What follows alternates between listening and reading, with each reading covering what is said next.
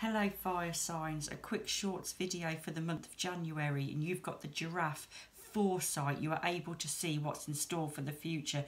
Use your intuition fire signs. Use that gut feeling, that intuition, that insight because you could have some kind of premonition or knowing in a situation about something that's going to happen in the future and you're going to just know, you're just going to have that gut feeling this is what's going to happen. So trust it, go with it, use it to guide you through the situation because you've got that foresight of seeing what's going to happen.